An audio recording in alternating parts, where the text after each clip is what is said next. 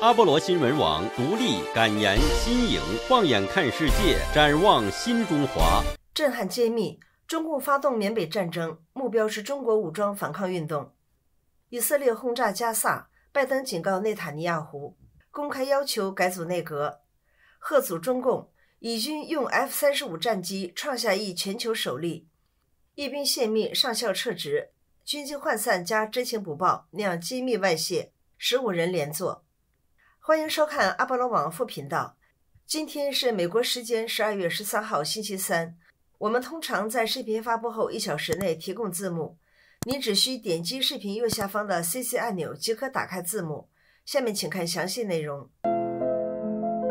震撼揭秘：中共发动缅北战争，目标是中国武装反抗运动。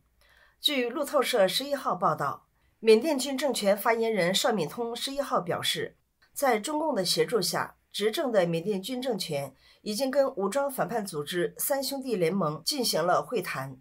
据袁宏兵对《看中国》独家披露，缅北的这次军事冲突，从一定的意义上讲，是中共迫不得已所采取的一次重大的军事行动。中共采取军事行动的核心，就是他长期培育的一个彭家声的继承人，叫彭德仁。他长期生活在中国，受到中共的政治军事的训练。从各个战区抽调的丛林战部队、特战部队的两个旅组成的果敢同盟军，总共人数是一万一千多人，并且为果敢同盟军配备了一些高科技的军事装备。袁宏兵进一步披露，中国的武装反抗运动，包括大家都知道的中华自由闪电军，这是一个总体性的、协调性的组织，以及它下面的十多个游击战队，最著名的就是卫字旅，还有中华民主军。那么，他们就在四大家族的军阀割据的范围之内，找到了生存和发展的空间。而且，中国武装反抗运动的这些团队摧毁了一批中共的公安系统所派到缅北进行情报收集、进行各种渗透的特务，并给这些中共的特务以沉重的打击。所以在这种情况下，特别是2023年以来，中国的经济断崖式的下滑，中国的年轻人的失业率达到了前所未有的严重程度。很多中国失业的青年人，他们通过各种方式来到了缅北，寻找生存出路。所以，中共虽然在中缅边境地区云南这一带设置了几百公里长的铁丝网墙，但是由于现在老挝和柬埔寨这两个地方基本上已经沦为中共的政治、经济和文化的殖民地，所以几十万的失业中国青年通过其他的很多的渠道，在二零二三年这一年之内，就通过各种方式辗转来到了缅北。在这从事各种各样的谋生的活动，其中有相当一部分人实际上就到这里要寻求加入中国武装反抗运动的，这就给中共暴政造成了一个极大的恐慌。由彭德仁作为中共暴政的代理人，对缅北进行统一的控制，来防止中国武装反抗运动令缅北的这种政治军事格局的态势不断的成长壮大，这就是现在缅北发生这么多事件的根本性的原因。尽管中共把一部分他们所谓的滞留缅北的人员押送回了中国，大约有几万之众。据我们了解，现在很多的这些面临失业毕业的大学生，其中相当一部分人正在准备流亡到东南亚地区，而且相当一部分人准备到缅北地区寻找中国武装反抗运动的各个团队。以色列轰炸加萨，拜登警告内塔尼亚胡，公开要求改组内阁。拜登在十二月十二号白宫举行的筹款活动上指出，以色列在加萨走廊的轰炸造成大量平民伤亡，正在失去国际支持。他暗示以色列总理内塔尼亚胡应改变其强硬政府立场，暴露了与内塔尼亚胡关系的新裂痕。拜登特别提到，以色列极右翼国家安全部长班吉维尔批评当前以色列政府是史上最保守的。并强调内塔尼亚胡需要改变政府方向。他还表示，以色列最终无法否定建立巴勒斯坦国的必要性。尽管以色列极右翼坚决反对此举，拜登重申，美国的角色将限于保护以色列，而不会在巴勒斯坦问题上采取其他行动。此外，美国国家安全顾问苏利文计划前往以色列，与以色列官员讨论有关加萨战争的时间表。内塔尼亚胡当天发表声明称，以色列地面入侵加萨行动获得美国的全力支持，并得以抵御国际社会要求停火的压力。他表示，尽管双方在哈马斯战争结束后的善后方案上存在分歧，但他希望双方能够达成一致。贺阻中共，以军用 F 三十五战机创下一全球首例。以色列空军十一月二号在社交媒体平台 X 上发布的视频显示，十月三十一号，一架 F 三十五 I 战斗机成功拦截了伊朗支持的也门胡塞武装发射的巡航导弹。F 三十五 I 是以色列版本的 F 三十五战机，这是 F 三十五系列战机首次成功拦截巡航导弹。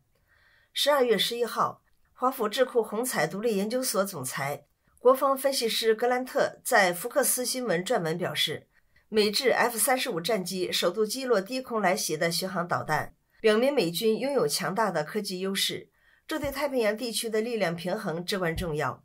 格兰特表示，中共正密切关注这些军事行动，并亲眼目睹了胡塞武装巡航导弹的下场。他们知道 F 三十五也能对付中共的导弹。在我看来，F 三十五击落巡航导弹。为中国带来了三大教训，格兰特说。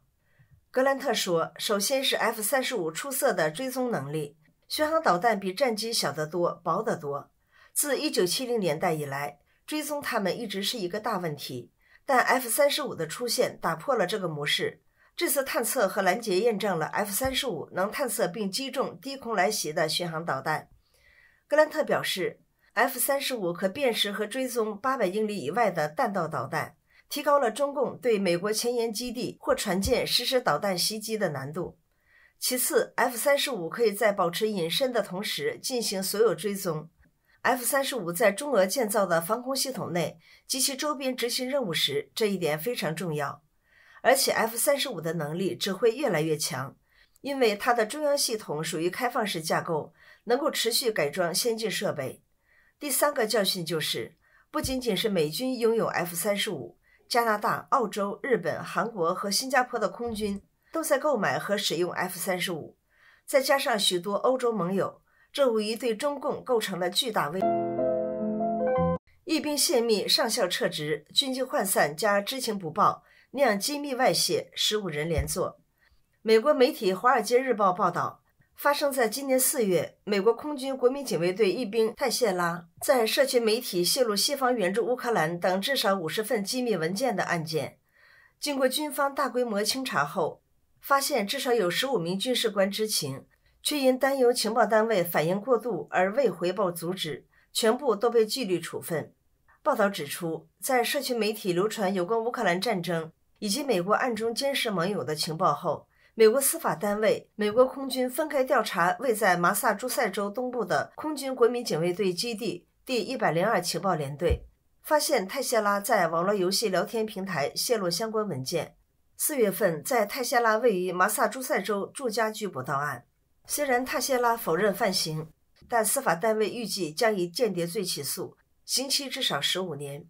美国空军追查泄密案指出，泰谢拉所属部队军纪涣散。同时发现泰谢拉的同僚中有人对泰谢拉违法搜集情资，在网络聊天室散布一事知情不报，因此记出纪律处分。遭处分者官阶从上士到上校都有，最严重的连队指挥官遭到撤职。我们每天在副频道发表一个视频新闻。阿波罗网是独立媒体，没有政府和机构资助。朋友们每一次按动油管的特别感谢。都是我们深深地感受到您的关爱和支持，尤其感谢纯粹为赞助我们而加入会员的朋友们。我们唯有做得更好，回馈您的帮助，请您点赞、转发和留言，让更多人受益。也请您订阅并打开小铃铛，选全部。我们也在干净世界平台开了频道，欢迎您在干净世界订阅我们，链接在视频的描述中。再会。